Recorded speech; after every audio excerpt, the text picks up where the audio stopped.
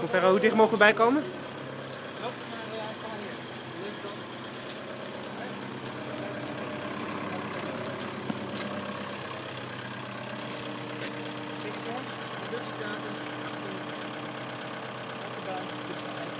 Hoe lang heeft hij ongeveer nodig om... Uh... Weet je niet. En je ziet nu wel uh, luchtbelletjes uitkomen. Ja, ja. Ja, zo meteen gaat hij verder maken. Mm -hmm. Ja, en dan Wat is de K-waarde van een individuele buis? Uh, 20 en voor het systeem 45. Ja, dat is het minimum bij jullie op toetsen, hè? Ja. ja ik heb dus dan met Ronald Herlee een keer over gehad. De onderzoeken die moeten op 45 uitkomen. Maar dan, hoe, hoe test je hem die, die, die, als systeem dan?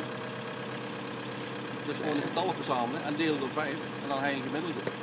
Dus ah, oké. Okay. Je, je, test, je, je test één buis en die moet minimaal 20 zijn. En ja. je hebt dan... Uh, en dan heb je bijvoorbeeld 5, in een bepaalde periode raak er 5 getest. Ja. Steekproefgewijs. Ja. Nou, die resultaten die deel je door 5. En dan heb je dus een gemiddelde. Okay. En, en dit, dit is jullie manier van testen? Ja. want als ik dus inderdaad voorschrijf van ik moet uh, de hamer of gelijkwaardig ja. hebben, ja. dan, uh, want ik heb daar toen met uh, Ronald Herlee toen over gehad en toen, deze getallen die komen bekend voor.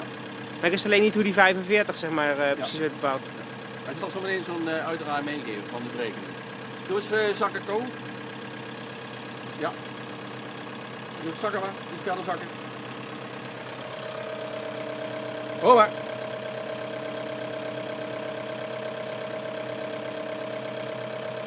aardig wat uit. En ik heb wel Permeo's verticaal uh, toegepast in Nijmegen. En uh, ook getest hè, met dan gewoon volzetten met water. En je zag gewoon waar je bij zat, zag je het water zakken gewoon. Zo, dat is ook weer nieuw voor jou, Doede.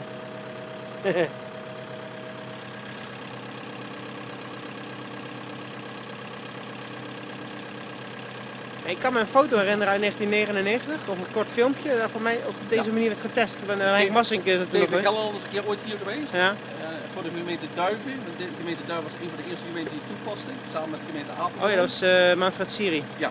ja.